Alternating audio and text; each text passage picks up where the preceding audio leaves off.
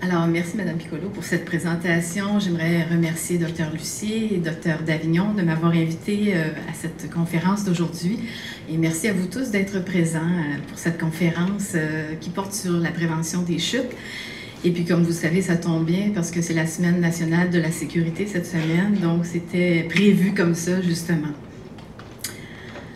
Alors, euh, moi, euh, on le dit dans la, en introduction, je suis ergothérapeute de formation. Alors, quand je travaillais comme clinicienne, notamment dans les CLSC, en maintien à domicile, bien évidemment, dans ma clientèle, il y avait beaucoup d'aînés euh, qui faisaient appel à nos services suite à une chute. Alors, ça m'a beaucoup interpellée et ça m'a interpellée comme ergothérapeute de, de pousser la recherche pour agir en amont des chutes, pour les prévenir.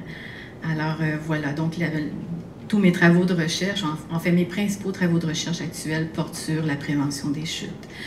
Alors, les chutes, comme vous savez, c'est un problème très important chez la population âgée.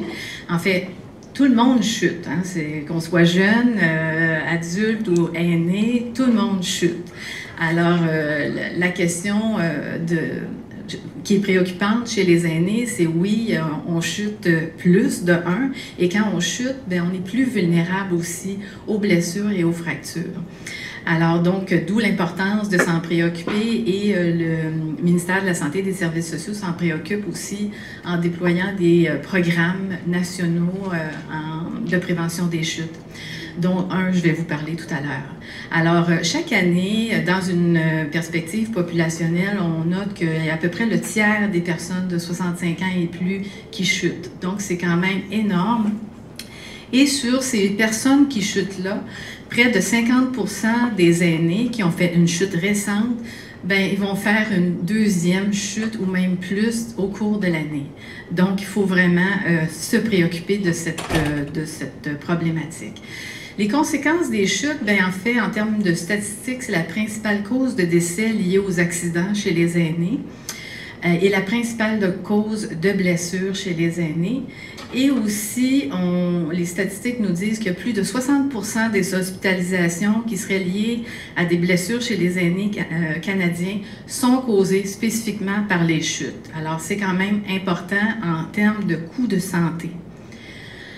Et puis, au-delà des blessures qui, peuvent survenir suite à une chute, bon, des fois, il y a des blessures graves comme la fracture de hanche ou un traumatisme crânien, mais parfois, on fait juste une, on a un petit bleu, une petite échymose, une petite égratignure, euh, euh, sans plus, mais euh, souvent, même sans blessure, la chute peut quand même avoir d'autres types de conséquences qui sont quand même néfaste pour la personne âgée, notamment sur le plan psychologique. Donc, on note que la peur de tomber et la restriction des activités liées à cette peur de tomber est un problème très fréquent chez les aînés, aussi préoccupant que, que les chutes elles-mêmes. En fait, euh, les études nous montrent que le simple fait d'avoir peur de tomber est un facteur de risque de chute en soi. Donc, c'est important aussi de considérer les dimensions psychologiques euh, en lien avec les chutes. On sait que quelqu'un qui a très peur de tomber peut se restreindre indûment, faire même, s'empêcher de faire des activités même qu'elle serait capable de faire à cause de cette crainte. Et puis ceci peut engendrer un déclin prématuré des capacités physiques, fonctionnelles, bref, peut générer des chutes comme telles. Alors on est dans une espèce de cercle vicieux lié à la peur de tomber.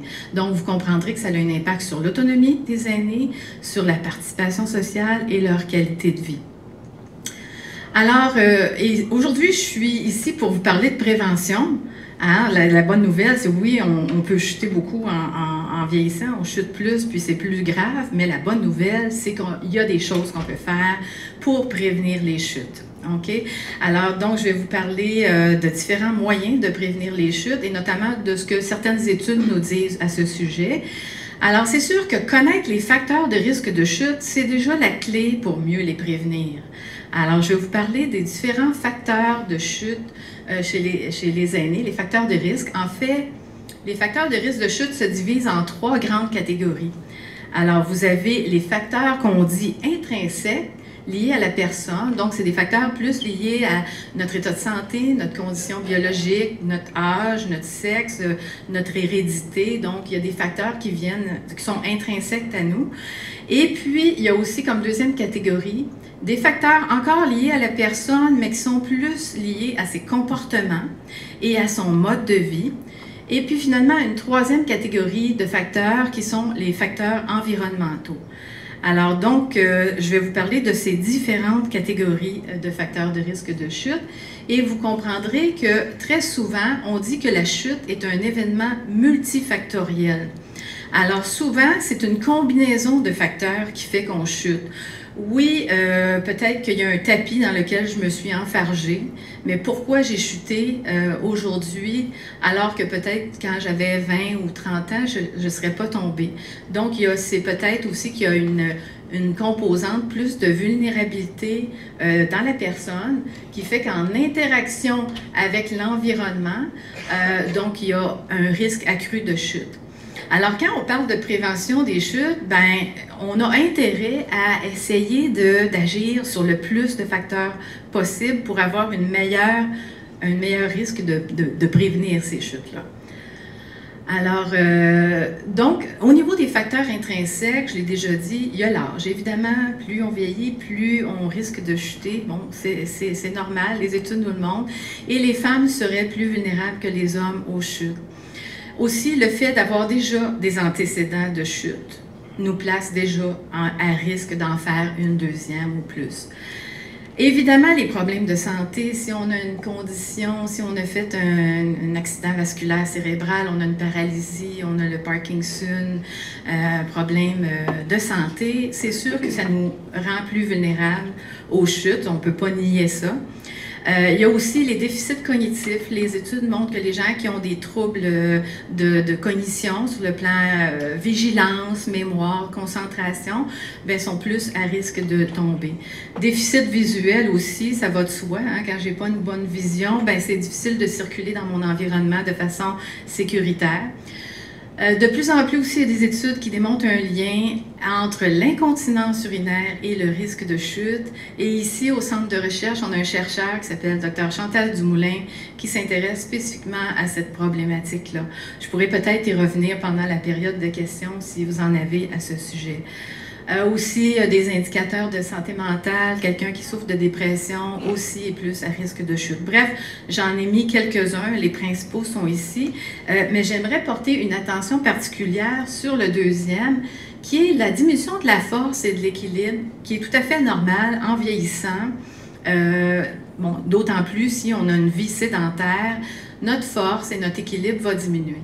Alors, pourquoi je je m'intéresse à ce facteur-là, c'est que dans le fond, euh, il y a des programmes qui permettent, en fait, l'activité physique, hein, qui permet de maintenir sa force, maintenir son équilibre ou même améliorer ces facteurs-là.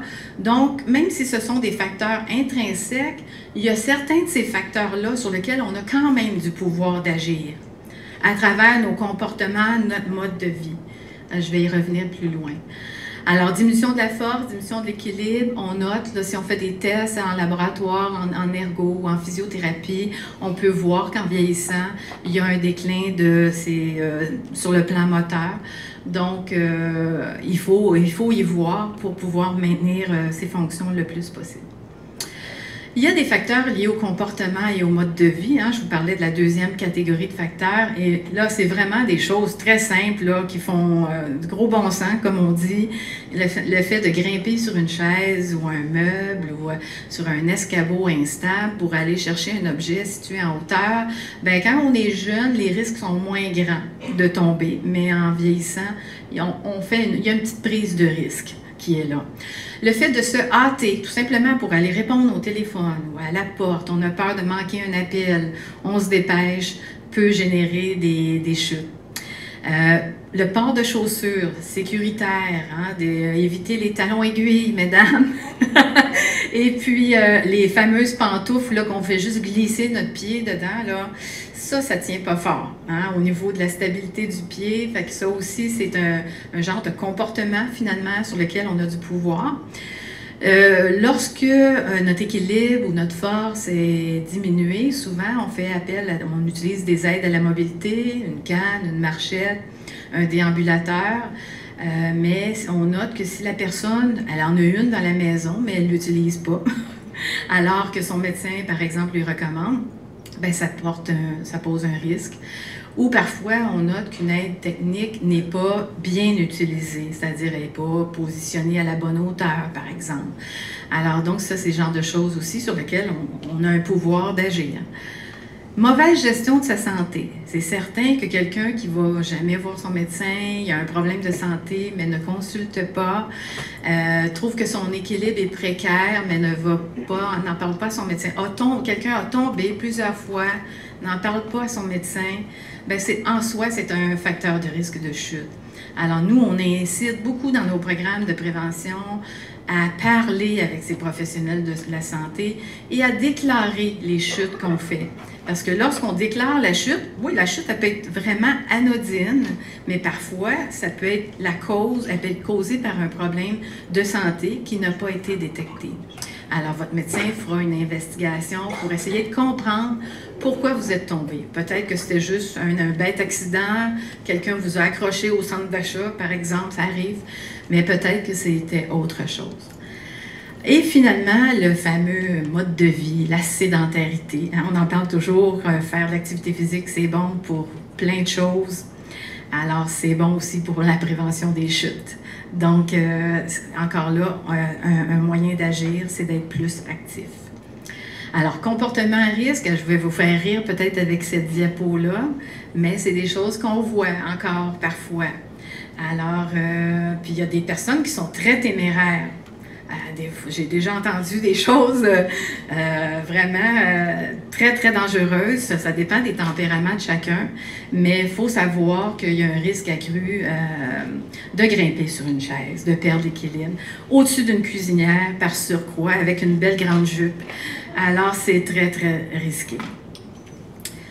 Les facteurs environnementaux, donc il y a des facteurs environnementaux de risque de chute qui sont liés au domicile lui-même. Parfois, c'est les lieux publics ou privés qu'on fréquente.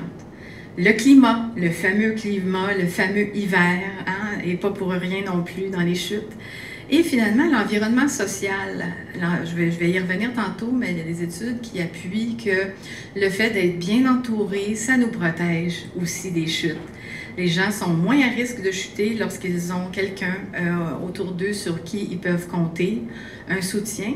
Et puis, si ce n'est que lorsque je suis tombée, ben, quelqu'un qui peut euh, intervenir rapidement aussi pour éviter que je reste là sur le sol pendant des heures.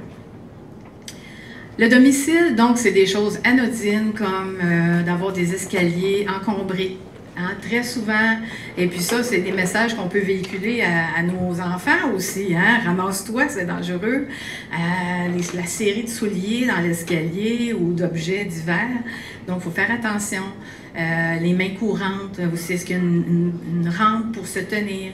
Les fameux fils électriques, euh, surtout avec la technologie, les ordinateurs, donc les fils qui peuvent être sur notre chemin dans les, les aires de circulation les fameux tapis euh, non fixés, les carpettes euh, donc, euh, qui peuvent glisser ou dans lesquels on peut trébucher. Alors, c'est des facteurs de risque de chute. Dans les lieux publics fréquentés, ben, il y a les fameux trottoirs, hein, les crevasses, nos beaux trottoirs bien entretenus, nos routes aussi. Alors, donc, c'est des choses sur lesquelles on a un pouvoir, peut-être pas direct, mais on peut quand même euh, signaler les problèmes aux autorités. Euh, dans les centres d'achat qu'on fréquente, les lieux publics, hein, les, surfaces glissantes qui viennent d'être lavées ou des choses comme ça. Euh, les centres d'achat bondés de personnes, donc on va être un peu plus vulnérable hein, d'être dans un escalateur quand il y a tout plein de personnes qui sont pressées, par exemple dans le temps des fêtes, donc facteur de risque. Les lieux privés que vous fréquentez, ça peut être chez la famille, tu peut-être votre euh, appartement, votre logement, est tout à fait adapté à vos capacités, est très sécuritaire, mais si vous allez chez la parenté, vos enfants, des amis, est-ce que la salle de bain est sécuritaire? Est-ce que la baignoire, la belle baignoire, bain podium qu'on doit enjamber pour prendre un bain, est-ce que vous vous risqueriez? Hein? Donc, il y, a, des éléments comme ça. Est-ce qu'il y a des mains courantes dans les escaliers de, des gens que vous fréquentez? Donc, encore là, c'est des choses à surveiller. Le climat, bon, alors l'hiver qui s'en vient, la neige dans les escaliers notamment, la glace, Hein, le verglas. Donc, il faut faire très attention. En temps de verglas, tout le monde tombe, pas juste les aînés. Hein. Donc, euh, c'est à surveiller. Euh, puis même à ce temps-ci, avec les feuilles d'automne, ça aussi, on peut, on peut glisser, il faut surveiller ça. Je vous ai dit que l'environnement social est un facteur aussi important qui peut être protecteur. Donc, euh, quelqu'un qui vit avec quelqu'un d'autre, c'est un facteur protecteur.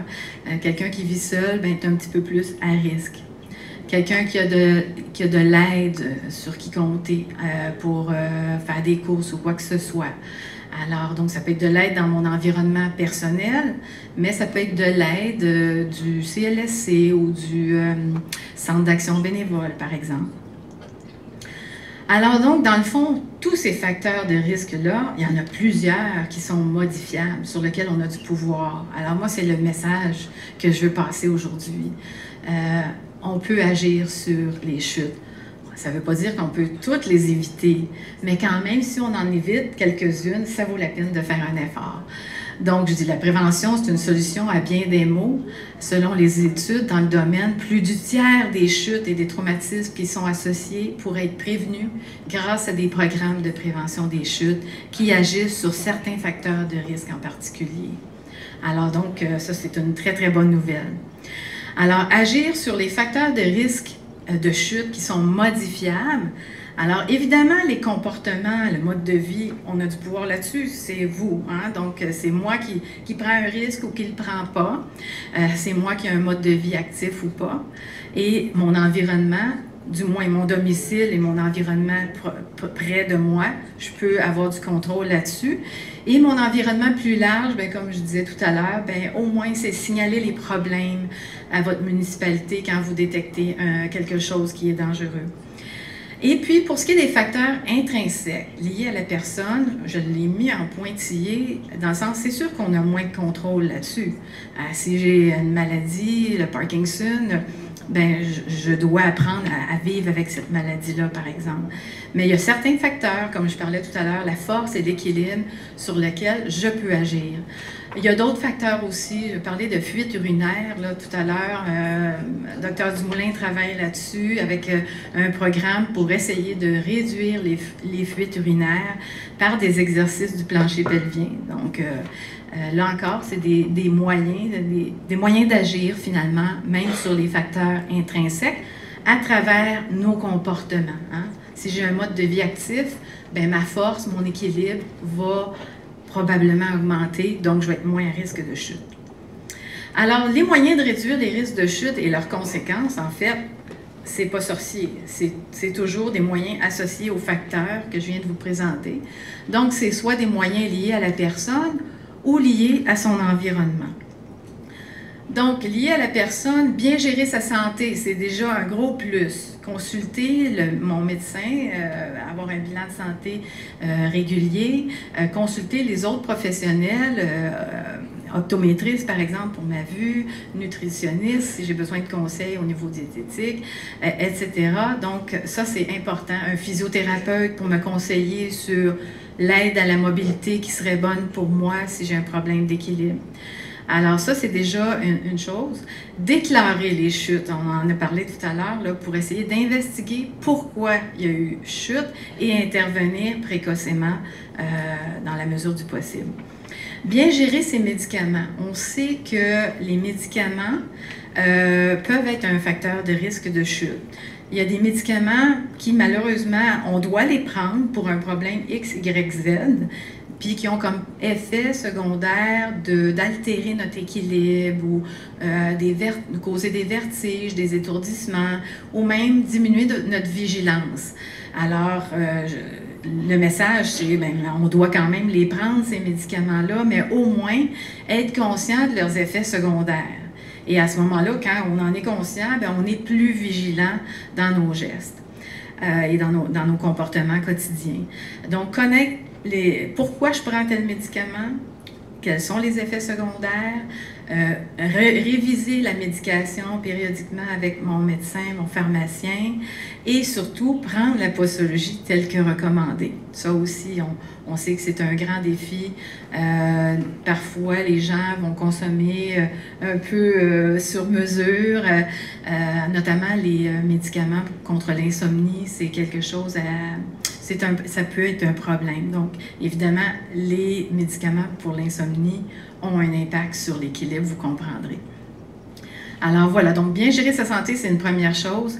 Adopter un mode de vie sain, c'est-à-dire faire de l'activité physique pour maintenir ou même renforcer ma musculature et euh, stimuler mon équilibre en fonction évidemment de, des, capacités qu'on a, euh, évidemment, pour maintenir ça au maximum. Alors, euh, je vais revenir tout à l'heure sur un programme de prévention des chutes qui s'appelle le programme PIED, euh, qui consiste justement en des exercices d'équilibre. Adopter une saine alimentation, c'est important par rapport aux chutes, notamment pour avoir des os en santé et des muscles en santé. Donc, de sorte que si je tombe, ben, je vais être mieux protégée si j'ai une bonne couche de muscles et puis euh, aussi, même si mon ossature est plus solide, donc euh, il y a moins de risque de fracture. Alors, euh, puis, ben, quand je mange bien, je me sens mieux, je me tiens mieux sur mes deux jambes aussi. Donc, la saine alimentation, c'est important. consommer l'alcool avec modération, ça va de soi. L'alcool, on le sait. Qu'est-ce que là, ça a pour effet? C'est on, on, a un sentiment, on est grisé, on est étourdi un peu. donc, il faut vraiment faire attention à ça. Et sur le plan social, adopter un mode de vie sain, je dirais, c'est de savoir bien s'entourer. Avoir un réseau social qui me permet de rencontrer des gens, euh, d'avoir un certain niveau de sécurité autour de moi. Donc ça, c'est important. Et puis, euh, il y a des ressources qui peuvent aider les aînés aussi à développer leur réseau social dans la communauté. Je pense au Club de l'âge d'or notamment, mais au Centre d'action bénévole aussi.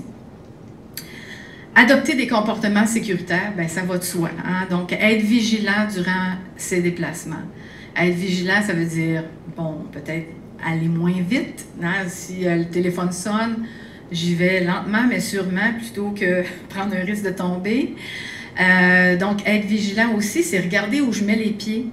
Euh, en vieillissant, fouiller dans son sac à main pour trouver ses clés en même temps que je parle à quelqu'un et que je marche, ça, peut être risqué, dans les escaliers aussi. Donc, essayez peut-être de faire une chose à la fois quand je cherche en quelque part. J'arrête pour être sûr d'être en sécurité. Euh, faire des mouvements plus lentement, notamment lorsqu'on passe de la position couchée à la position debout ou de, coucher à assis ou de assis à debout euh, pour éviter les chutes de pression trop rapides, donc euh, ce qu'on appelle l'hypotension orthostatique on est plus sensible à ça en vieillissant.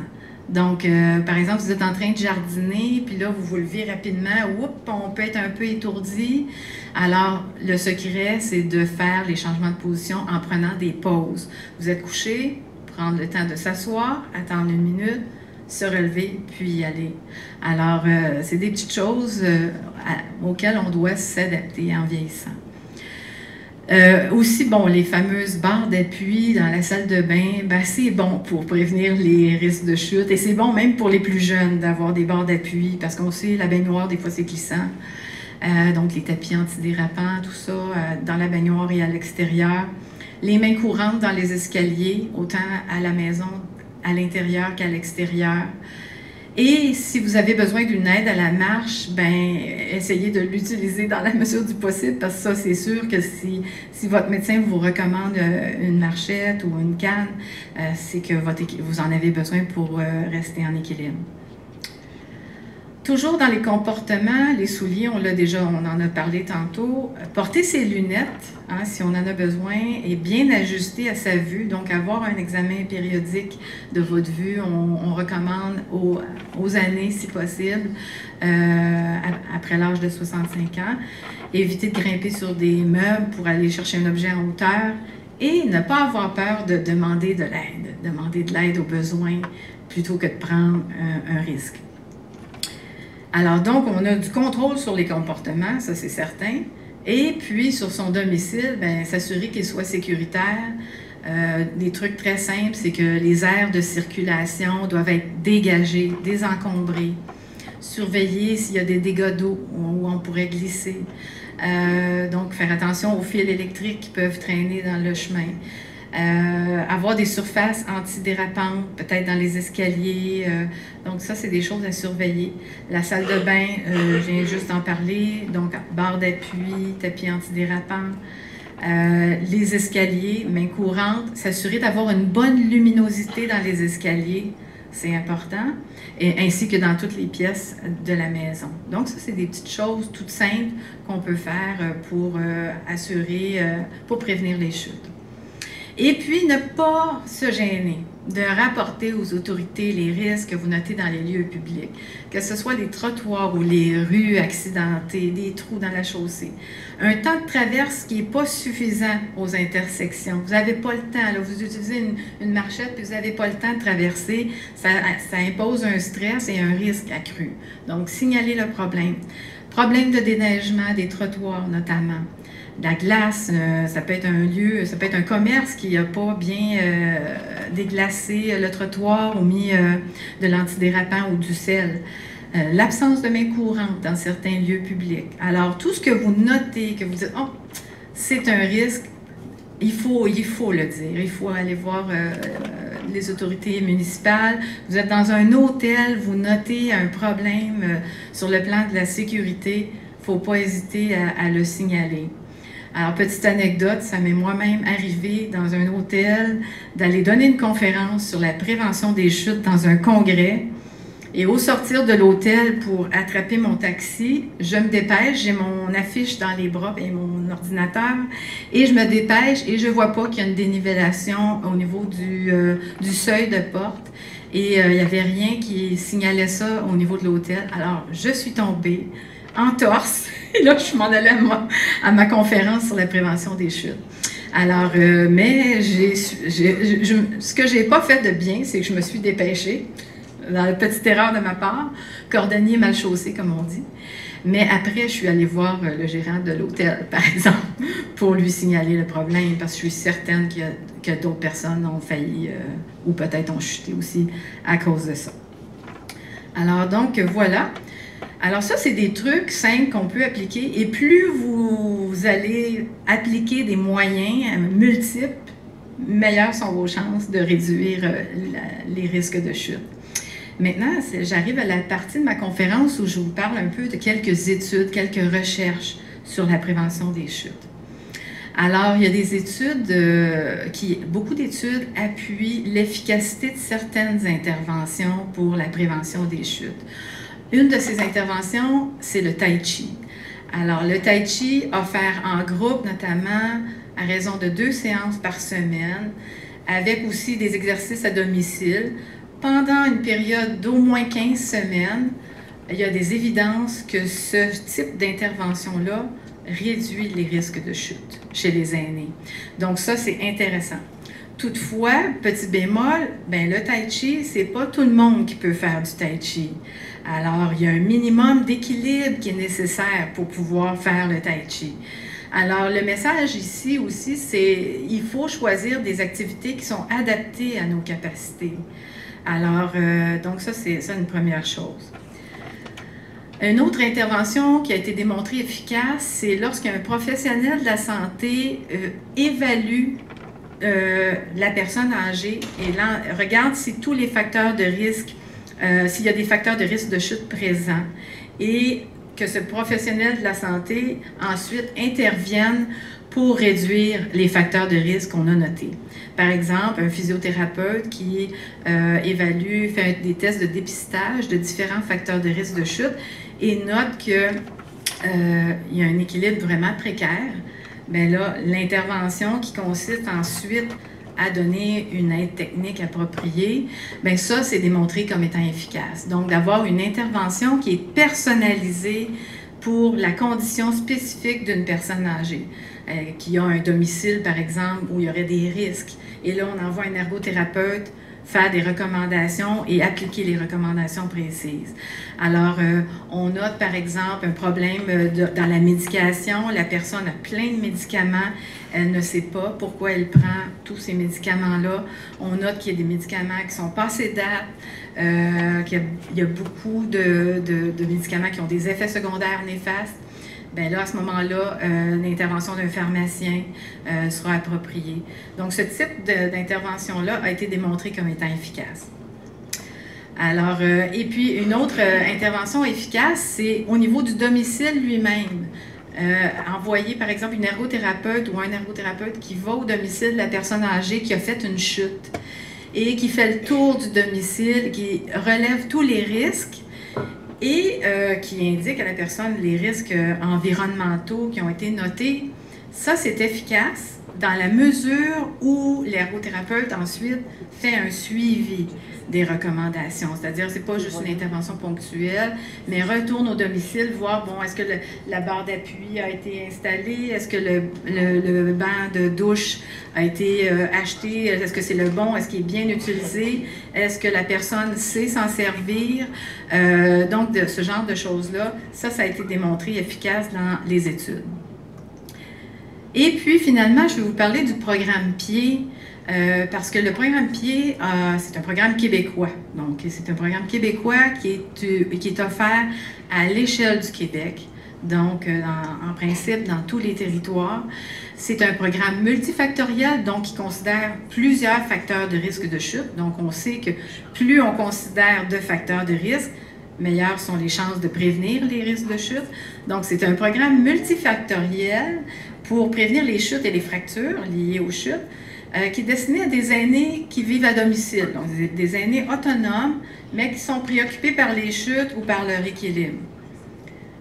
Alors, c'est un programme, en fait, le programme PIE, je dois vous dire, c'est un acronyme pour Programme intégré d'équilibre dynamique, donc d'où le, mot PIE.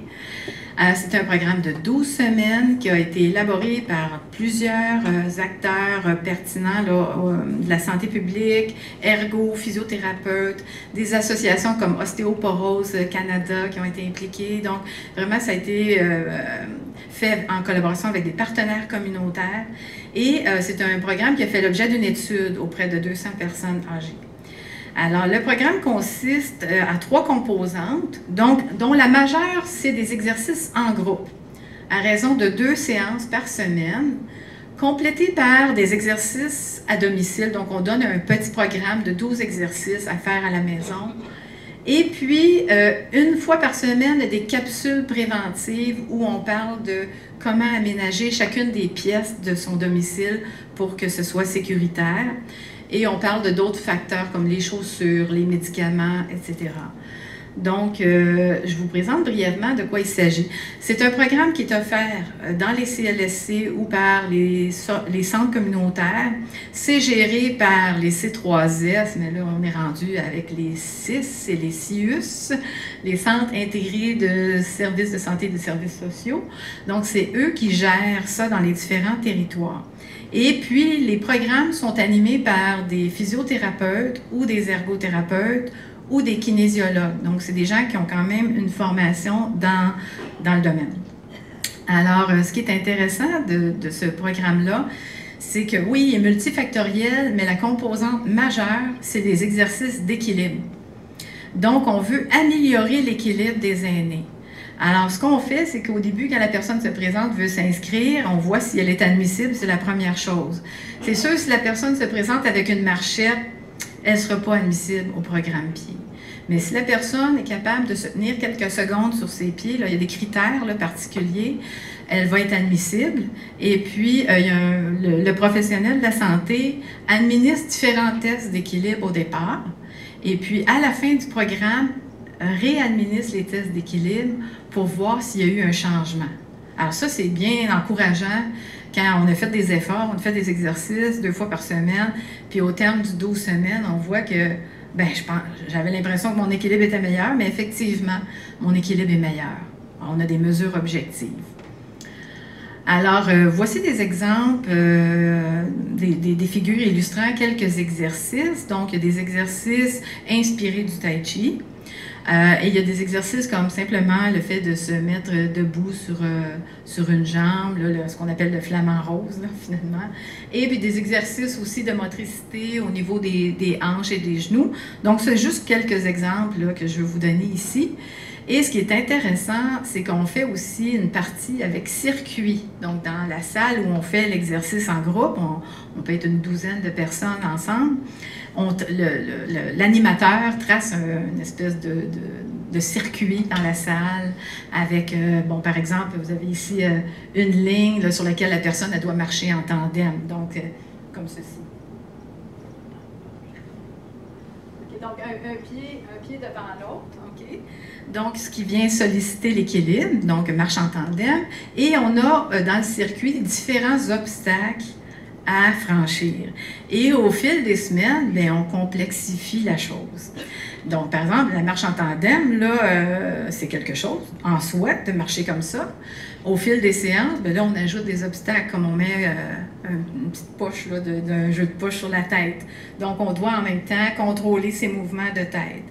Euh, on peut aussi transporter un verre d'eau en même temps. Alors, donc vous comprendrez que la difficulté augmente avec le temps. Par exemple, aussi les exercices se tenir sur une jambe. Au début, c'est simplement se tenir sur une jambe. On a une chaise devant soi juste au cas où, on devrait s'agripper par sécurité. Mais au fil des semaines, on rajoute des formes. Fait là, la personne est, est, sur une espèce de gros coussin. En plus, elle doit se tenir sur une jambe, mais sur une surface instable. Donc, on, a, on gradue comme ça au fil des semaines le niveau de difficulté. Et moi-même, moi, j'anime le programme pied occasionnellement, mais je l'ai suivi aussi à un moment donné. Puis j'étais, la première fois, j'étais euh, époustouflée là, du niveau de difficulté. J'étais allée à une des dernières séances du programme et on demandait aux personnes âgées de mettre les mains sur les hanches, de ramasser des billes avec ses orteils et de les déposer dans une chaussure placée à côté. Alors, euh, donc, c'est quand même un bon, un bon challenge. Alors, vous avez ici des exemples concrets. Donc, on voit qu'il y a toujours une chaise pas trop loin au cas où, hein, parce qu'on voudrait certainement pas qu'il y ait de chute pendant le programme. Et puis, vous voyez les espèces de formes qu'on utilise au besoin là, pour se tenir euh, sur une jambe avec un niveau de difficulté accru. Et puis, on a des exercices aussi qui vont stimuler la plante des pieds, ce qu'on appelle la proprioception, donc vraiment aller stimuler les sens au niveau des pieds pour euh, développer encore là l'équilibre à travers cette proprioception. Et puis, je vous, montre le circuit, donc euh, soit enjamber ou marcher sur des formes. Ici, vous avez la marche en tandem. Et puis, vous avez des, espèces de, de push-up, mais c'est des push-up adaptés au mur. Euh, donc, euh, qui a pour but de renforcer la musculature, parce qu'il y a aussi la composante de force. Et aussi, euh, quand on fait des exercices pour la musculature, ben, ça stimule aussi la densité osseuse. Donc, c'est un peu aussi ce qui sous-tend ce type d'exercice. Et puis, je vous disais que dans le programme pied, il y a aussi une composante capsule préventive où on parle de toutes sortes de facteurs de risque dans l'environnement. Donc, au fil des semaines, on va regarder c'est quoi un salon sécuritaire, une salle de bain sécuritaire, une cuisine, des escaliers, chambre à coucher, de bonnes chaussures, euh, l'importance de l'activité physique, pas juste pendant le programme pied, mais quand le programme pied est terminé. Euh, et puis, si vous avez gardé ses os en santé, les médicaments, donc, au fil des semaines, vous avez toujours une thématique là, où on vient euh, aborder d'autres facteurs de risque de chute, là, pas juste l'équilibre. Alors, il y a eu une étude qui a été menée à la Direction de santé publique de Montréal de 2002 à 2012 auprès de 200 aînés. Ça vous allez dire, c'est long comme étude, mais c'est parce qu'il y a toute la composante d'analyse aussi qui découle de ça. Il y a le développement de l'intervention qui est vraiment quelque chose là, fait avec des partenaires communautaires et tout. Donc, euh, une étude menée auprès de 200 aînés euh, sous la direction de Dr. Yvonne Rabitaille et qui avait pour but d'évaluer les effets du programme Pied sur l'équilibre des participants lorsque celui-ci est offert dans des conditions naturelles. Alors, ce que ça veut dire, en gros, c'est que souvent, la recherche, ça se fait en laboratoire, vous savez, hein? On fait venir les gens ici, par exemple, dans un laboratoire et on contrôle les conditions pour être certain de ce qu'on mesure comme effet. Mais moi et, mes collègues, on, ne choisi de faire davantage. ce sont de très bonnes études qui sont nécessaires pour démontrer l'efficacité d'une intervention. Mais une fois que ça s'est démontré, est-ce que l'intervention est utilisable dans la vraie vie? Est-ce qu'elle est faisable? Parce que des fois, dans le laboratoire, c'est bien beau. Je développe un programme de, je sais pas moi, 30 semaines mais que dans le système de santé, on n'a pas les ressources pour l'appliquer, ben là, ça ne fonctionne pas.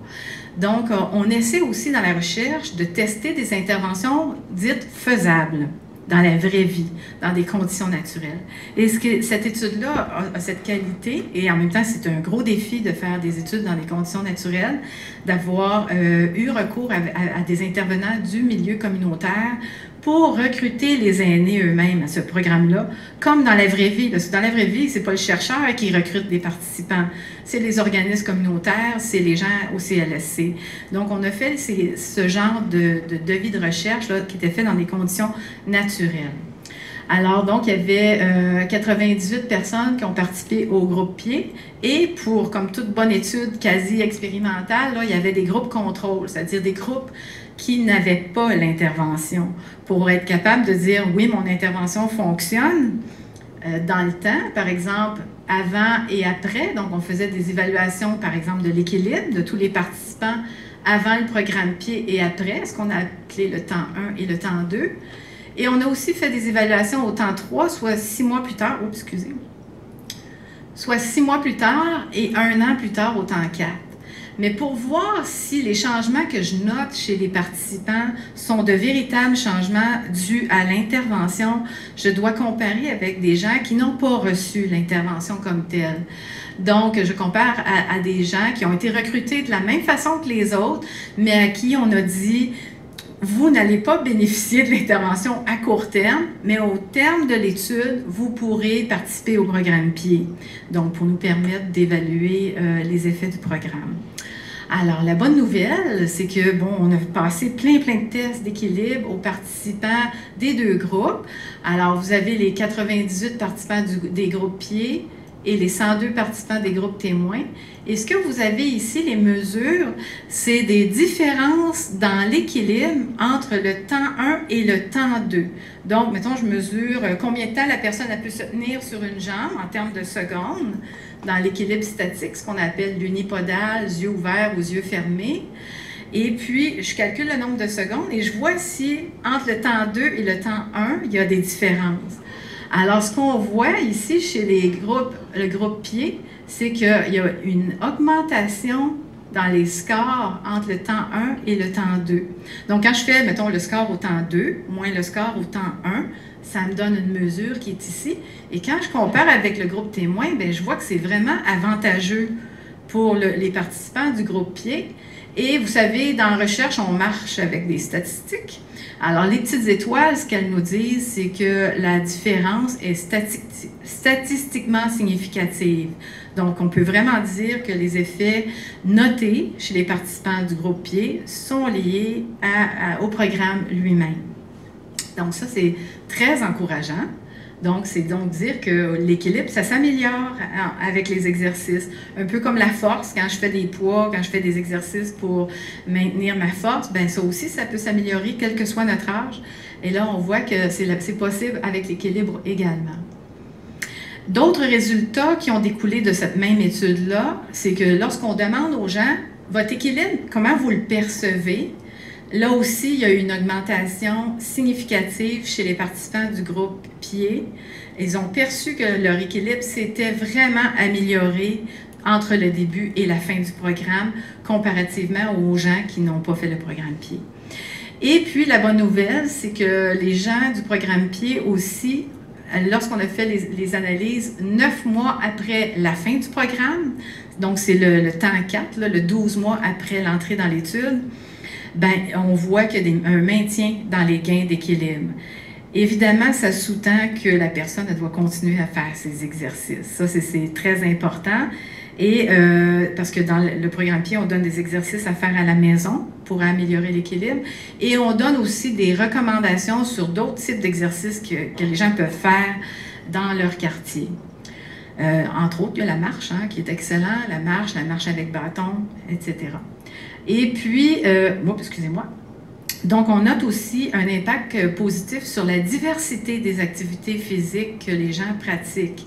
Donc, dans le programme pied, ils sont exposés à différents exercices, puis on leur parle dans une des capsules préventives de toutes les ressources qui sont disponibles dans la, communauté pour faire de l'activité physique. Et on note que chez, les gens du programme PIB, ben, ils font plus d'activités variées que les participants euh, du groupe euh, contrôle. Donc, ce sont des résultats très intéressants. Alors, euh, ça conclut l'étude du programme PIE, puis ça vient un peu appuyer pourquoi le programme PIE est offert à l'échelle du Québec et le gouvernement met des argents, euh, vraiment dédie des enveloppes budgétaires pour la prévention des chutes dans tous les secteurs du Québec. Puis le programme PIE, euh, c'est quelque chose qu'il soutient. Fait que ça, c'est bien encourageant. Puis on a des données probantes qui appuient que c'est bon. Alors ça, c'est intéressant. Et puis, je vais terminer ma présentation avec ma recherche actuelle, s'il me reste du temps. Cinq minutes, c'est parfait, merci. Alors, euh, donc, Madame Piccolo vous disait que je m'intéresse à la peur de tomber chez les aînés parce que oui, c'est un facteur de risque de chute. Alors, on a élaboré un nouveau programme qui s'appelle Vivre en équilibre, euh, ici au centre de recherche de l'IUGM. En fait, on travaille sur ce programme depuis 2009. Alors, on est en 2015, fait que ça fait déjà six ans qu'on travaille sur le programme. On est rendu à la version 4 euh, du programme, donc c'est vraiment bonifié par moult personnes, notamment des aînés, parce que moi, dans mon équipe de recherche, j'ai des aînés qui travaillent avec moi. Et euh, la particularité de ce programme-là, c'est, on, on, le définit comme un programme de promotion de la santé des aînés conçu pour être offert en groupe par des pairs. Donc, c'est des personnes âgées qui ont reçu une formation pour devenir des agents de promotion de la santé, des agents multiplicateurs. Donc, c'est un programme pour les aînés, offert par les aînés. Euh, et puis, c'est un programme qui a pour particularité, excusez, j'ai une petite, une coquille dans ma diapositive. Donc, c'est un programme qui cible la peur de tomber et ses conséquences chez les aînés, qui vise à, sensibiliser au fait que, oui, la peur de tomber euh, il peut avoir une prudence saine en temps de verglas, par exemple. Je ne veux pas m'aventurer sur les trottoirs, mais il y a une peur de tomber qui peut être néfaste quand, elle m'empêche de faire des choses que je suis capable de faire. Donc, je vous ai parlé de cette espèce de cercle vicieux là, au début de ma présentation. Alors, donc, on a développé un programme de formation et puis, j'ai à date, j'ai eu à peu près une dizaine de personnes, euh, d'animateurs euh, pour le programme Vivre en équilibre. Et puis, euh, on a eu des subventions là, pour étudier les effets de ce programme-là. Donc, est-ce que ce type de programme peut apporter aussi des bénéfices dans la vie des aînés? Euh, l'avantage de cette approche par les pairs, je vois, premièrement, on a recours à des aînés qui sont comme des agents multiplicateurs. Donc, euh, le profil typique, c'est un jeune retraité qui veut, euh, qui a le goût d'animer de, de, des groupes de 12 personnes à peu près, de 12 personnes âgées. Euh, dans le cadre de l'étude, on l'offre en résidence pour personnes âgées et puis on n'a pas de difficulté à recruter, je vous dirais. le programme est très populaire. Et puis, il y a une certaine réceptivité au message de promotion de la santé parce que l'animateur, ben, c'est quelqu'un qui me ressemble. C'est un père. Donc, c'est quelqu'un qui a les mêmes préoccupations que moi, euh, qui présente lui-même très souvent des facteurs de risque de chute. Donc, euh, les messages passent bien. Et euh, donc, les études qui utilisent ce type d'approche-là démontrent que l'approche procure à la fois des bienfaits pour les participants, mais pour les pères eux-mêmes, même sur leur santé. Alors, euh, on sait notamment que ceux qui font du bénévolat, c'est très souvent, on voit des effets bénéfiques sur la santé des bénévoles.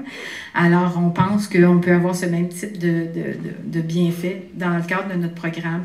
Évidemment, ça, ça peut être offert euh, par, des pairs qui sont rémunérés, là, donc on n'exige pas que ce soit bénévole, euh, mais c'est un peu l'approche qu'on a choisie. C'est une approche d'empowerment des aînés. Alors, en conclusion, la bonne nouvelle, c'est que c'est possible de prévenir les chutes et que les chutes, c'est l'affaire de tous. Hein. On sait, peu importe l'âge qu'on a, on peut être sujet aux chutes. Donc, on, peut tous être un peu des agents multiplicateurs dans nos environnements.